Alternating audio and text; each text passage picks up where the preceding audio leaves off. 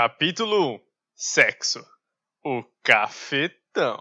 Desde tempos imemoriais, os cafetões têm sido tratados como parasitas que vivem às custas das prostitutas. Mas, para uma justa avaliação, tem-se de fazer um exame da verdadeira função do cafetão. Um dos primeiros pontos que precisa ser esclarecido é a alegação de que cafetões usam de coerção e ameaças de violência para recrutar e manter prostitutas em suas folhas de pagamento.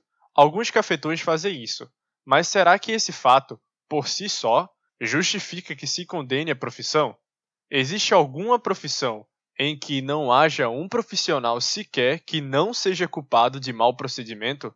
Houve pedreiros, encanadores, músicos, padres, médicos e advogados que violaram os direitos de seus semelhantes. Mas estas profissões não devem, enquanto profissões, ser condenadas na sua integralidade. E assim, deveria ser com a profissão de cafetão.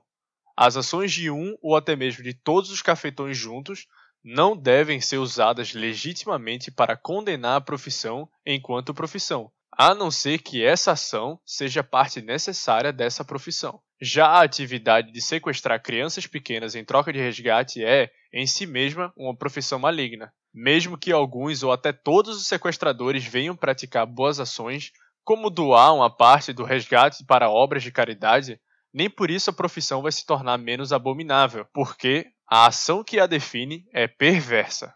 Se fosse perversa a ação que define a profissão de cafetão, então esta também deveria ser condenada.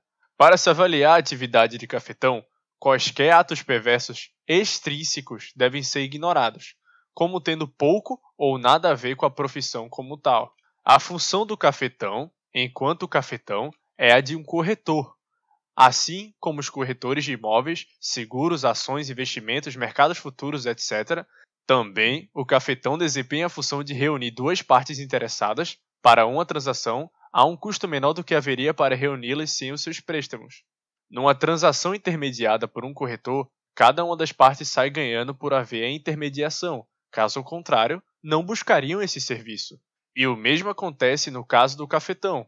O cliente economiza tempo, o tempo gasto inutilmente ou o tempo desperdiçado em esperar ou procurar uma prostituta. É mais fácil telefonar para um cafetão a fim de conseguir um encontro com uma prostituta do que despender tempo e energia procurando uma. O cliente também tem a garantia de saber que a prostituta vem recomendada. A prostituta também se beneficia. Ela economiza o tempo que, de outra forma, teria de ser gasto em procurar clientes. Também é protegida pelo cafetão, de clientes indesejáveis dos policiais, cuja profissão, enquanto profissão, faz parte impedir que prostitutas tomem parte num comércio voluntário com clientes que nele consentem.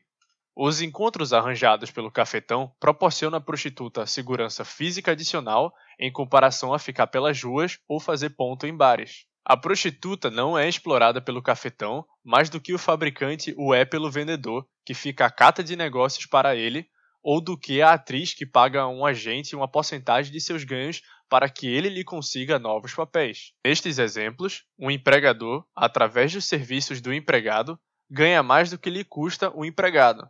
Se não fosse assim, não haveria a relação empregador-empregado. O relacionamento da prostituta empregadora com o cafetão empregado apresenta as mesmas vantagens mútuas. O cafetão profissional desempenha uma função necessária de corretagem. Nesse desempenho, ele até pode ser considerado um tanto mais nobre do que muitos outros corretores, como os dos bancos, de seguros e do mercado de ações.